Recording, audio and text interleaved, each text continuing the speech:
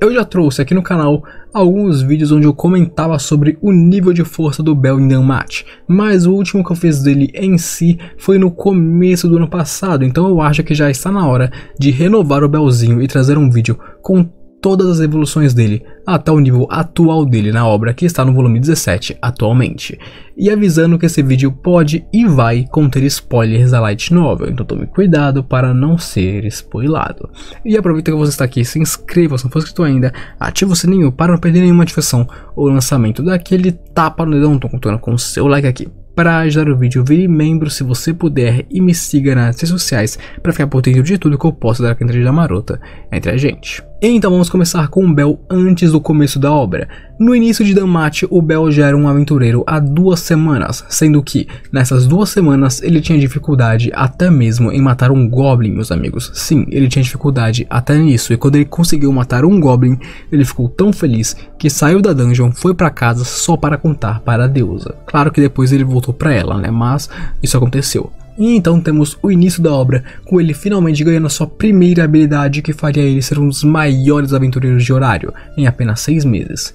Lieris Freeze, o perseguidor obstinado, a habilidade que ele obteve quando a sua fauna cristalizou seus sentimentos por Ice Wallenstein em algo que o ajudaria a perseguir e alcançar ela, tornando Bel cada vez mais forte e poderoso rapidamente. E conforme ele foi ficando mais forte rapidamente graças a Lianis Freeze, a Freya que estava olhando tudo lá de cima de sua torre pensou que seria melhor que o Bel ficasse ainda mais forte, então ela arranjou um jeito de dar um grimório a ele, que mais tarde o faria aprender a sua primeira magia, Firebolt, que é uma magia de gatilho rápido, sem a necessidade de encantamentos, que dispara uma bola de fogo eletrizada em seus oponentes. Ela é uma magia que é um pouco mais fraca que magias comuns, porém ela é muito forte e rápida, além de que pode ser usada para ataques surpresas e virar a mesa em diversas situações. E então é chegada a hora onde nós enfrentamos a primeira evolução vistosa do Bell em toda a obra, quando ele treina pela primeira vez com Ice Wallenstein nas muralhas de horário, por uma semana. E nessa semana ele aprendeu o estilo de combate que apenas duas pessoas no mundo possuem. Albert Wallstein, o rei mercenário, e Ais Wallenstein, a princesa espadachim. Ele aprendeu o estilo de esgrima que eles usavam. E nesse ponto, o Bel ficou muito mais forte, tanto em status por apanhar um monte da Ais, quanto em técnica, porque agora, pela primeira vez, ele realmente tinha um estilo de combate para usar em suas lutas. Até o momento, ele só lutava seguindo o seu coração, porque ele não sabia como lutar, mas agora ele finalmente tinha sim um estilo de luta que o ajudaria em suas missões. E após isso, nós temos a luta contra o Minotauro e a ascensão do Bel para o nível 2, onde seu último status no nível 1 estava com todos os atributos no S, com exceção da agilidade, que estava no SS, e a magia, que estava no B. E agora, no nível 2, o Bel foi reconhecido com seu alias, Litoruruk, que significa pequeno novato. E ao subir para o nível 2, o Bel também ganhou a sua skill mais conhecida e apreciada por todos, Argonauta, o desejo do herói, que é uma habilidade ofensiva que depois de carregar por algum tempo permite um contra-ataque extremamente poderoso, capaz até mesmo de alcançar níveis superiores ao do usuário. E com o nível 2 chegando e a skill Argonauta presente, temos a nossa ida para o andar 18 e a sua luta contra o Golias Negro, onde o Bel não cresceu tanto, mas ainda assim teve um crescimento nessa luta. E após retornar para a superfície, ele teria o desafio da família Apollo, que acarretaria em mais mudanças. Antes do jogo de guerra, o Bell treina mais uma vez com a Ice, onde ela ensina ele mais coisas e deixa ele ainda melhor do que antes, fazendo o Bell crescer novamente. E então ele luta no jogo, e graças a ele temos a ascensão do Bell para o nível 3, onde seu último status de nível 2 tinha todos os seus status em SS, com exceção da agilidade, que era SSS, e a magia, que estava no A. E agora ele também contava com status extra, de sorte e resistência anormal. Como o nível 3, a primeira aventura do Bel foi no bairro dos Prazeres, onde ele lutou muito com diversas Amazonas e aprendeu a controlar melhor a sua Argonaut, assim conseguindo evoluir para um ponto mais alto em status e técnica. E em seguida foi um incidente com Xenos, onde nós vemos o que pessoalmente eu chamo de ponto de virada. Sim, para mim, Diogo Lacerda, o incidente com Xenos, toda essa treta que aconteceu, é o ponto de virada da novel. Durante o incidente do Xenos, o Bel cresceu de várias maneiras. Eu vou começar falando sobre o crescimento mental dele. Primeiro que com a perda da Vini, antes dela ser revivida, ele foi levado ao extremo. Depois, teve todo o rolê do Dix que fez ele ver o pior lado dos humanos. E então tem a luta que ele teve com a Ice, que fez ele se sentir mais perdido do que tudo, fazendo ele lutar contra a garota que ele ama. E em seguida tem a sua luta contra o Asterios, onde após perder, ele começa a chorar, porque ele não queria perder. E depois que ele perde para o Asterios, acontece algo que todo mundo da novel percebeu. O Bel parece ter ficado mais sério, mais maduro e mais objetivo. O Belcranel mudou, ele ficou um pouco mais frio e agora fazia as coisas com um objetivo em mente e não agia de forma tão infantil como antes. Sim, depois de perder para o Asterios no incidente dos Xenos, é onde o Bel começa a mudar mentalmente e, claro, amadurecer. E então também ocorre a sua evolução em poder, que durante todas as lutas ele cresceu muito, tanto que, durante o seu embate com a Ice, ele conseguiu achar uma brecha e contra-atacar ela, embora tenha desistido do contra-ataque e apenas a arranhado. E após o seu embate com Asterios, ele ascendeu novamente, indo para o nível 4. E seu último status no nível 3 estava com a base SS, tendo sua exceção em destreza sendo apenas S, agilidade sendo SSS e a magia sendo A e agora com a ascensão dele, ele ganhou mais um status, que seria o Escape.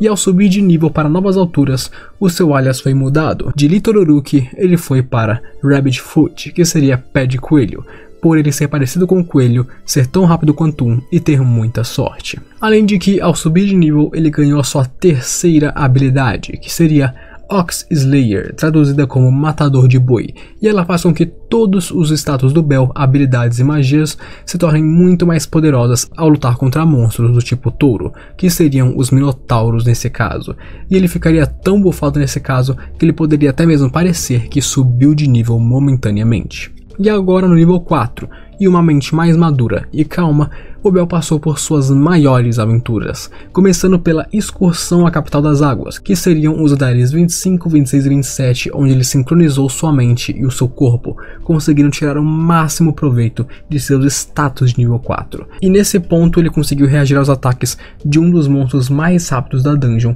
que foram apresentados até o momento. Sim, ele conseguiu se provar ter uma agilidade e destreza imensa.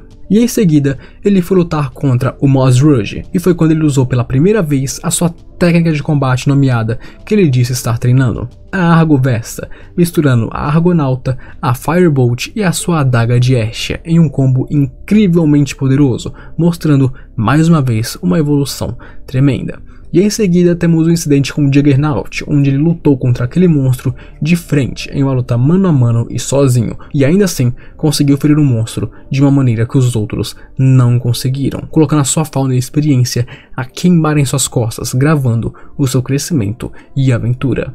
E em seguida a isso de novo, nós temos a aventura nos andares profundos, onde agora o Bel com a sua mente mais madura e forma um pouco mais poderosa, iria aprender várias coisas com a Ryu, mapear dungeon, ser cauteloso, técnicas efetivas para combate, como usar o espaço ao seu redor como vantagem e várias outras táticas e técnicas que ela empregava em seu tempo de aventureira. E o Bel absorveu tudo isso, o Bel aprendeu tudo isso e passou por uma grande evolução, porque agora ele poderia ser chamado de aventureiro em plano direito. Nesse ponto, o Bel era muito poderoso, mas ele ainda só era um aventureiro há seis meses e não poderia se chamar de um aventureiro veterano. Ele era apenas um novato, ele mal conhecia a dungeon nesse ponto. Mas a partir daqui, o Bel se tornou um aventureiro em plano direito, porque ele aprendeu tudo o que ele poderia aprender que um aventureiro veterano como a Ryu fazia em seus tempos de dungeon. E ao sair dos andares profundos, é dito que o Bel poderia subir ao nível 5, porém é claro, a Asha não subiu ele.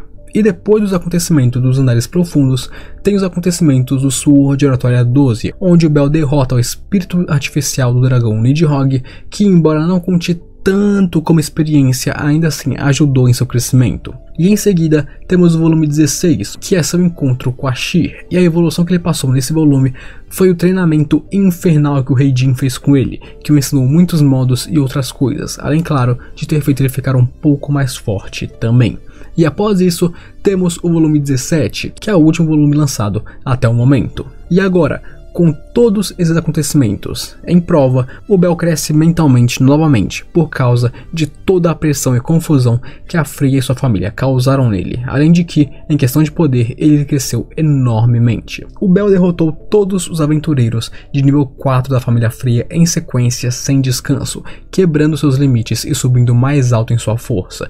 E após isso, ele tem o seu treinamento intensivo com Redin, Hogni e os irmãos Gulliver, sendo dois níveis 6 e quatro níveis 5. Todos esses aventureiros de rank altíssimo fizeram um treinamento infernal com Bel todos os dias durante dias, praticando o dia todo por um bom tempo, fazendo ele crescer ainda mais. E isso foi provado em um treino contra o Redin. Ele conseguiu sim arranhar o elfo nível 6 em um contra-ataque apenas sendo nível 4.